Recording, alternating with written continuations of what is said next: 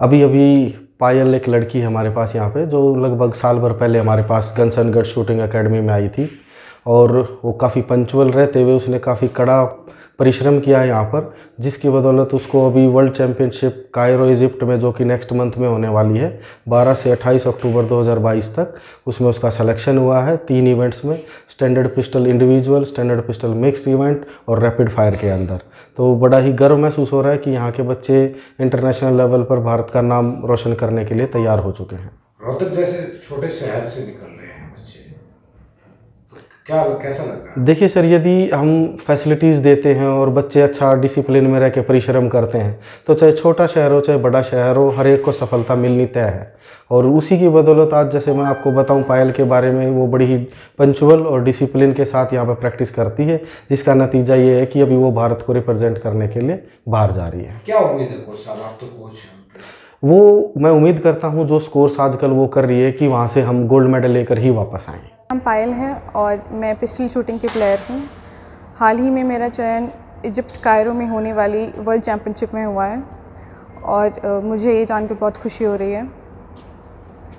तो इससे पहले आपकी क्या अचीवमेंट रही? इससे पहले मैंने एक नेशनल खेला था इसी इवेंट में 25 मीटर स्पोर्ट्स पिस्टल में जिसके जिसमें मेरा ब्रॉन्ज मेडल रहा था।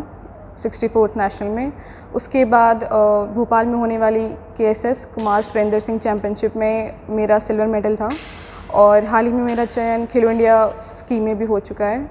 और अब मैं 12 से 28 अक्टूबर तक इजिप्ट में जाऊँ इजिप्ट में भारत को रिप्रेजेंट करने जाऊँगी वर्ल्ड चैम्पियनशिप में।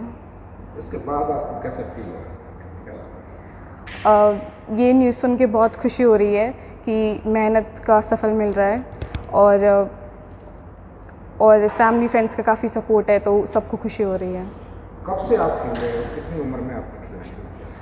मुझे प्रैक्टिस करते लगभग एक साल से ज़्यादा हो गया है। तो किसका स्पोर्ट्स ज़्यादा लगता है आपको? पेरेंट्स में पहले कोई खेलता था या? अ, परिवार का तो काफ़ी सपोर्ट है और एकेडमी का जो एकेडमी में प्रैक्टिस होती है जिस जिससे कॉन्फिडेंस काफ़ी बढ़ा है मेरा। हमारे कोच हैं योगेश सर और जो बहुत अच्छा गाइड करते हैं जिसकी वजह से आज मैं यहाँ पर पहुँच पाई हूँ। अच्छा पायल अब तो टाइम लग ही गया कि लड़कियों को भी बहुत प्रेफर किया जा रहा है। वो जगह जितनी लड़कों को मिलती लड़कियों को। सबसे ज़्यादा फैमिली में किसका सपोर्ट मिलता है? मदर का फादर का? सपोर्ट तो सभी करते किसी को अपने परिवार में से कोई भारत को रिप्रेजेंट करने जाएगा बाहर तो सबको ही खुशी होती है। पर अ, मेरी पूरी फैमिली मेरे मम्मी पापा और मेरे भाई बहन मेरा भाई भी शूटिंग करता है लक्ष्य और अ, मेरे कोच सब बहुत खुश हैं। अच्छा आपने शूटिंग ही क्यों चूज़ किया? गेम्स और भी बहुत सर शूटिंग मैंने इसलिए चूज़ किया क्योंकि हमें वही परसू करना चाहिए जिसमें हमारा मन लगता हो जिसमें हमें खुशी होती हो। मैंने जब पहली बार शूटिंग की मुझे लगा कि हाँ मैं इससे खुश हो सकती हूँ मेरा इससे करियर बन सकता है।